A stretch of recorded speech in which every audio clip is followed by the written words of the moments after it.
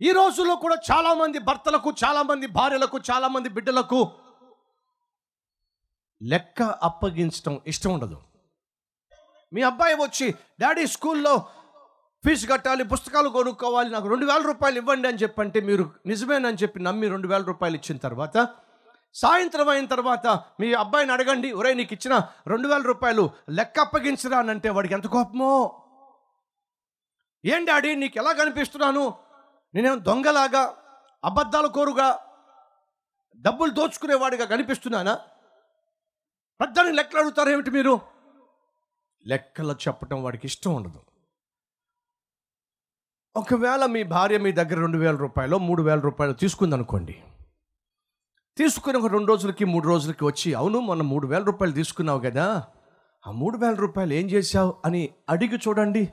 ఎంతమంది భార్యలు మనస్ఫూర్తిగా అవునండి మీరు మూడు వేల రూపాయలు ఇచ్చారు కదా కూరగాయల వాడికేమో రెండు వందలు ఇచ్చాను గ్యాస్ సిలిండర్ వాడికేమో ఐదు వందల రూపాయలు ఇచ్చాను కిరాణా వాడికేమో రెండు వేల రూపాయలు ఇచ్చాను ఇంకా వంద రూపాయలు మిగిలిందని చెప్పేటటువంటి ఇల్లాలు ఎంతమంది ఉంటారు? ఏం చేసా ఆ మూడు వేల రూపాయలు? ఒక్కసారి చూసి మీ ముష్టి మూడు వేల రూపాయల కోసం ముప్పై లెక్కలు చెప్పాలి నేను. అర్థమైందా? నెలాఖరు అయ్యేసరికి భర్త ఇంటికి వచ్చినప్పుడు ఏమండి? జీతం వచ్చిందా? అని మీరు సిస్టర్స్ అడగండి. మీ ఆయనకి ఎంత కోపమో జీతము జోలికి రాకూడదు. ఏమండి ఇరవై రెండు వేల రూపాయలు జీతం వస్తుంది కదా మన ఇంటికి పెద్దగా ఎంత అవుతుంది ఖర్చు ఇంటి రెంటు పిల్లవాళ్ళకి చదువు వాళ్ళకి వీళ్ళకి నేను మొన్న లెక్కలేసాను.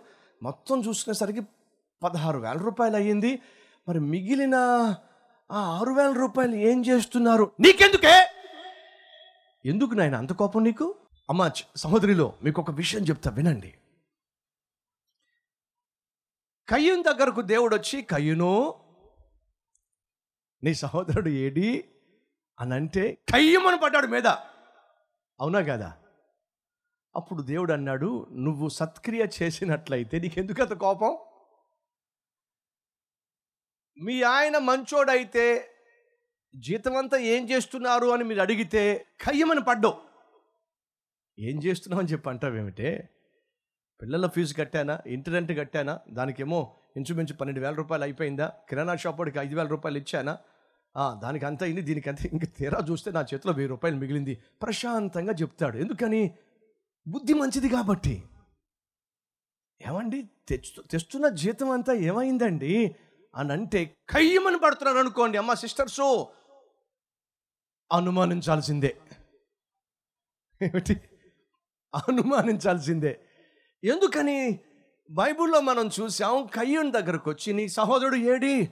అని అంటే నా సహోదరుడికి నేనేమైనా కావాలి వాడినా? ఎందుకయ్యా అంత కోపం నీకు? నువ్వు సత్కార్యం చేస్తే నీకు ఎందుకు వస్తుంది కోపం?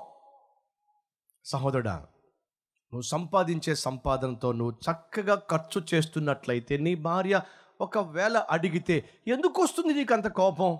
అమ్మ సహోదరులు నువ్వు నిజంగా ఇంటి పట్ల శ్రద్ధ కలిగి నీ భర్త పడుతున్న ప్రయాసను గుర్తించి ఆయన రక్తమును చెమటగా మార్చుకొని సంపాదిస్తున్నాడు అనేటటువంటి భావం నీకున్నట్లయితే సంపాదించి పెట్టే భర్త వచ్చి ఏం చేసావు ఆ మూడు వేల రూపాయలు? ఏం చేసావు ఆ ఆరు వేల రూపాయలు? అని అడిగినప్పుడు నువ్వు మంచి ఇల్లాలు అయితే అసలు కసురుకోవు విసురుకోవు. ఖచ్చితంగా లెక్కలు చెప్పేస్తావు పిల్లలు బాధ్యత గలవారైనట్లయితే తండ్రి తల్లి పడుతున్న ప్రయాసను గుర్తించే వాళ్ళైతే తల్లి కానీ తండ్రి కానీ డబ్బులు ఇస్తే తమ్ముళ్ళు చెల్లెలు వింటున్నారా?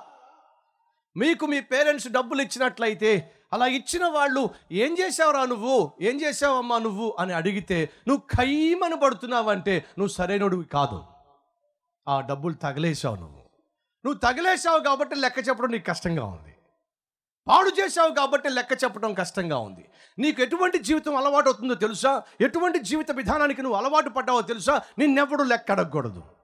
నిన్నెవడూ ప్రశ్నించకూడదు.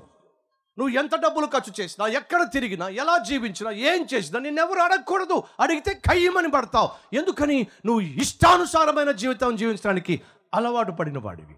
కూతుర్లు ఈ రోజుల్లో కొడుకులు ఈ రోజుల్లో ప్రేమించే తల్లికి తండ్రికి జవాబు చెప్పటానికి అసలు ఇష్టపట్టల్లా? కారణము చేసే పని మంచి పనులు అయితే జవాబు చెప్పడానికి కష్టమేమిటి? చేసే పనులని వెధవ పనులు కాబట్టి తల్లికి తండ్రికి జవాబు చెప్పటం ఈ రోజుల్లో చాలామంది పిల్లలకు కష్టంగా మారిపోయింది. కారణం తెలుసా? ఇష్టానుసారమైన జీవితం